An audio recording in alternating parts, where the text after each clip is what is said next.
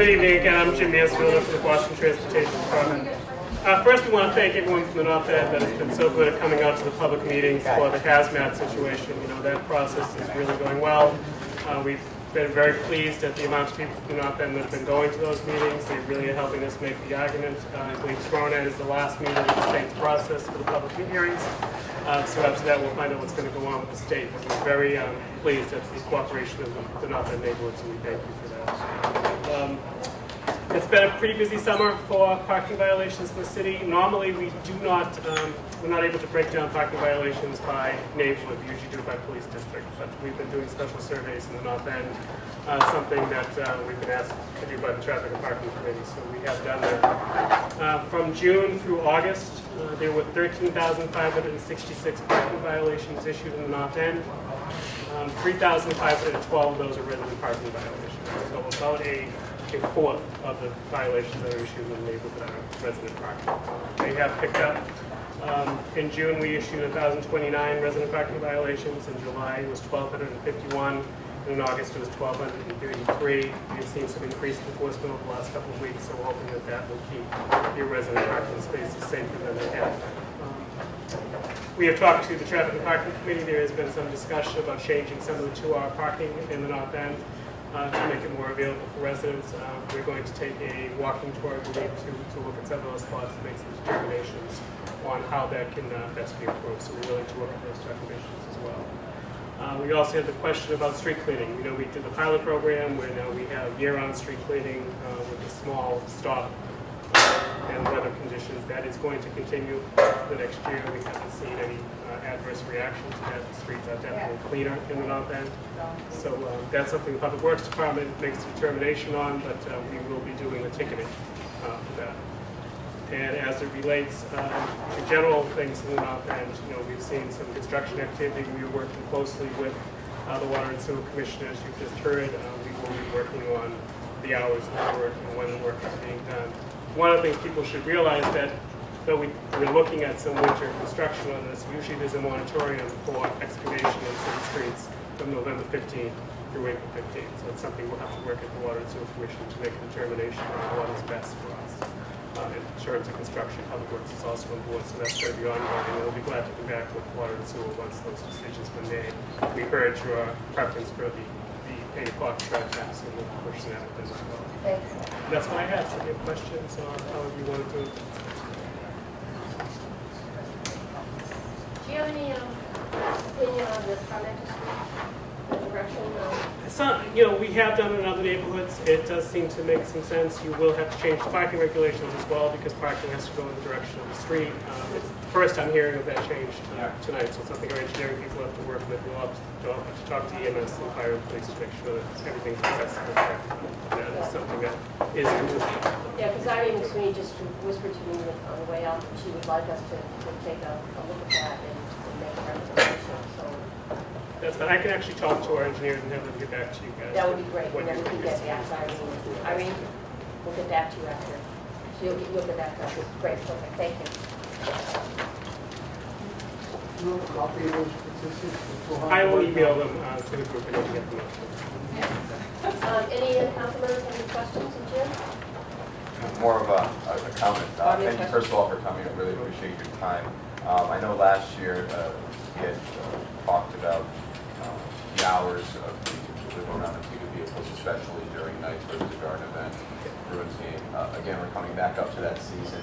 Um, I, I'm not, I'm still a little unclear as to where um, the Boston Garden stands with uh, regard to paying uh, any overtime employees, if that's even the case. Um, As we know that uh, Fenway, uh, the Red Sox organization, does do something like that. Can you elaborate that on that a? No one pays transportation department, so we have no agreements with anyone to, to do uh, law enforcement. There are some, Fenway has some uh, details, police details, so there are, you know, increased uh, presence of police officers. There's no increased presence of enforcement officers.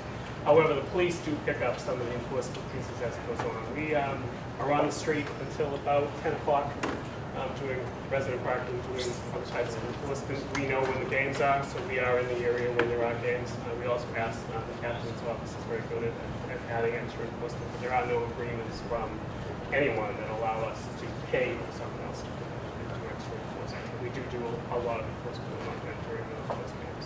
And other than the mayor's hotline, um, I know people can call, if there's issues with parking or anything else. Is there any other sort of number that people Yeah, the best number for, to getting a meter maid to come out and respond is 617-635-3125. Uh, On the overnight, that is manned by Supervisor Irene Landry. I bet a lot of you have spoken to Irene in the past, but she is excellent, and they do have people in this area, so it's easy to get some people. especially for us.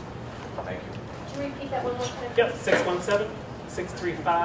617-635-3125. Any other council members have any comments, questions? John? I was wondering, uh, during those months that you talked about, uh, those are also when, in- during the feast, right? What what do you guys do differently uh, to handle When, transportation? when there's a special event, we actually have more people come into the area because we want to, number one, make sure that the streets, traffic is moving, that the valets are operating appropriately, that the streets aren't bogged down with double parking. So we do increase the number of people that come in and do enforcement. Uh, we also know that there are more people that are trying to park in the neighborhood during that, and we don't want to have them taking up the residential space. So we do increase supervisors and um, enforcement personnel during special events. Does that increase the number of tickets too? Do you see that same re- revenue, 13,000 tickets coming out of North End during months that aren't summer months?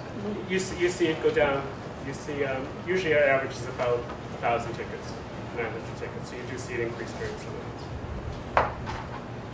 And it also depends what's going on, you know, winter enforcement can inform, inform what we're doing, street cleaning informs what we're doing, so, you know, you see peaks and valleys, but that's, that's an average. But besides that, like the number of spots that are being taken away, the residents are, um, like with, a- if a movie production came to town, you'd be able to take tickets and go to park somewhere. Yes, But nothing being considered in terms of with all, with all the spots that are, for the piece, yeah. no, Why not? They're considered nonprofits, it's a non-profit. So So if it's a profit, that's the only, that's how you determine whether or not. it's a okay.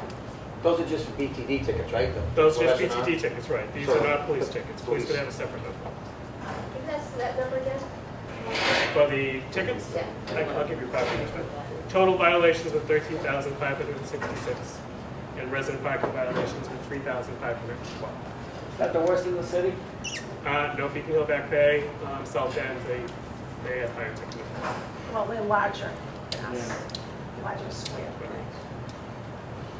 Any other council members? Okay, Ann? Amber Story on North Market Street. Um, I have two problems.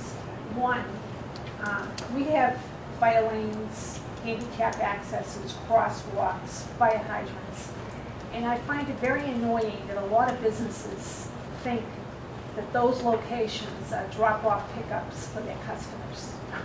They're not. Um, so if, if you have a specific problem area, give them to us, we'll do some, some enforcement of them.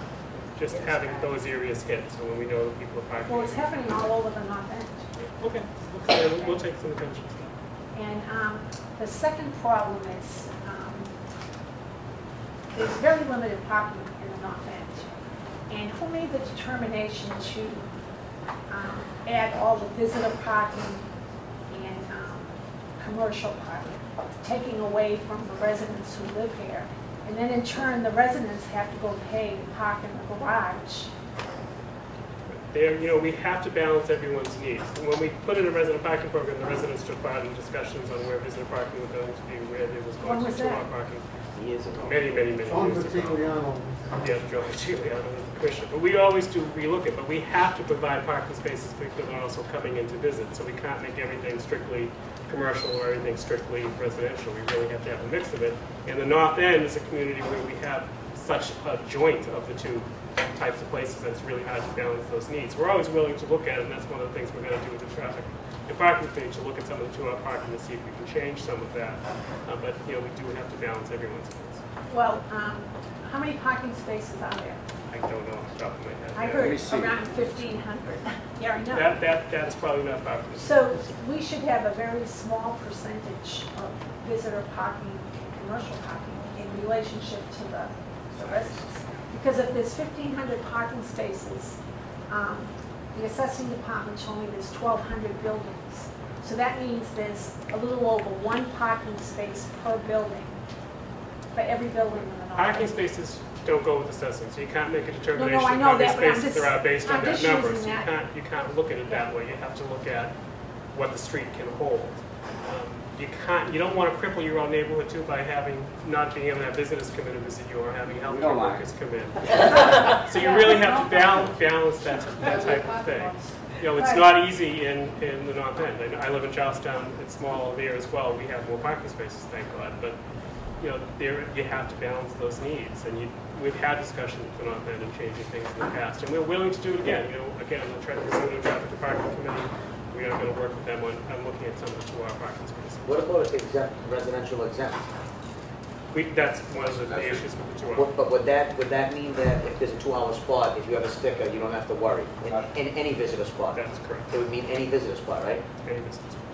And then finally, um, a lot of people that live in the North End move out after a year, and their sticker is still good. Uh, The technology is a wonderful thing. That used to be the case.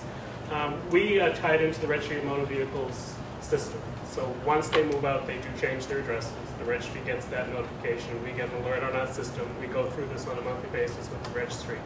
The parking officers now have handheld ticketing machines. So it's not the the pad of paper anymore. They have handhelds. They go in and put plate numbers as they're going up and down the street. If it's a resident parking permit, they put in the permit number as well it'll show if that ticket's been, that sticker's been revoked. So if they've moved, the sticker is revoked from the system, they issue a ticket onto that vehicle. Is there any way to uh, monitor uh, the valet? they, they, they suck up a lot of spots, they know all the visitor spots, they know all the tricks. And uh, there seems to be no monitoring of that, there's no control. If there's an issue with that, I can have, we have, I'm Denny Uzo, who's a resident of North End, is in charge of LAs, so we can definitely have him come out and talk. Can a local cop tag a car that's parked in their designated area where there's not supposed to be, it's drop off and pick up? Yep. That's always congested, and that's why there's doing business in the middle of the street. Yeah. If you Rico and Fiore, both sides, and ambulances, fire. You're not allowed to keep any vehicles standing in the Yeah, but that's, I've never seen any enforcement on that, I'm out there every day. I know they do do some, but, you know, that's something we have to look at. And One more question, you mentioned the pilot program for the street cleaning. Yep, It's still in effect, which is year round? Yep. Uh, we had a meeting at City Hall last year, and they, they, we compromised to not have it January and February. right, no, they, it stops for a time period, so it Okay. does stop during January, That's February, the and then it starts again in March. Starts in December. And it Right, that's what it is, it reopens again. Month later, month It, later. gi- it pretty much gives you a month longer than the other red sheet, other than street. So it runs for about a month longer, but it's also weather dependent, so if it snows or something else happens, they stop. Jimmy, Stephanie had a question. Uh, Stephanie Hoag, Entrance Street.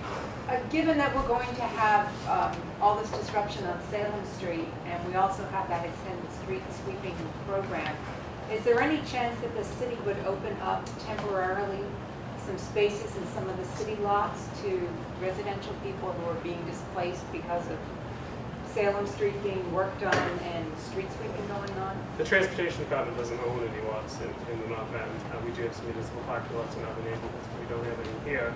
It's something we could talk to, um, Nicole Leo, see if she can coordinate something, but I know the BRA does own some, some parking lots there, so it's something that I think that might help alleviate the parking problem while this whole Salem Street project is going on, and we've got the street sweeping as well. Something to And. I don't own a car, so I have no self-interest here. Um, I think I'm all for, for taking away some of the visitor spots because it's the valet people that are parking their cars in the visitor spots. They are not taking them to their garages or anywhere they have to go.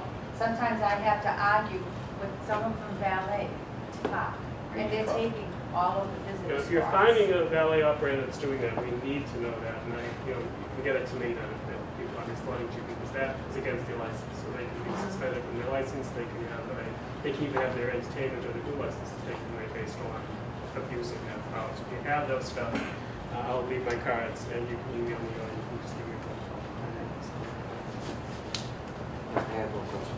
You're not out here, Stephen, you can. Um, Who, who would, who, I, I, I- I guess during the, so they're gonna do the sewers, so how about we don't do street sweeping on, on Salem Street? Who would, who would we go, with? would that be something we go through you or Public Works? It has to go through Public Works. It is something we do on a regular basis uh, with major construction projects, and we would make public, we would make uh, the Water and Sewer Commission clean the street. Uh, Much like we do with, with the movie companies. If they're going to disrupt it, we'll have them clean streets that we won't. So, you know, they to pay that street being cleaned or have their own sweepers. But that's something that is on the table. I know they've already discussed that with, Okay. with the boards. Um, that, not a not across. Again, it's not our property, um, so that's something that, I think BRA owns that lot. uh, So that's something we'd have to discuss with the BRA. Anybody else? Well, Jim, thank you so much. And I'll get you an email. Thank you Oh, for your. Oh.